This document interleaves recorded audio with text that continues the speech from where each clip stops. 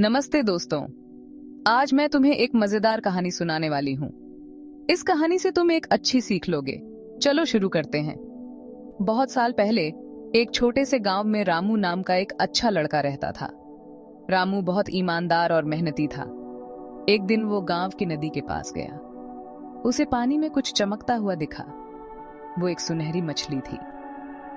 रामू ने मछली को पकड़ लिया और खुशी से देखने लगा। मगर मछली ने रामू से कहा, मुझे जाने दो, मैं तुम्हारी एक ख्वाहिश पूरी कर दूँगी। रामू ने थोड़ा सोचा और बोला, ठीक है, मुझे एक बड़ा सा सुंदर बगीचा चाहिए, जहाँ मैं और मेरे दोस्त खेल सकें।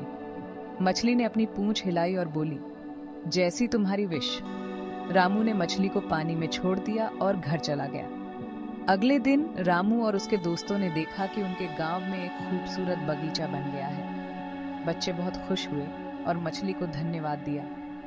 अब रामू और उसके दोस्त हर दिन उस बगीचे में खेलते और मस्ती करते। इस कहानी से हम लेसनते हैं कि ऑनेस्टी और मेहनत का फल हमेशा मीठा होता है। तो दोस्तों, तुम्हें ये कहानी कैसी लगी?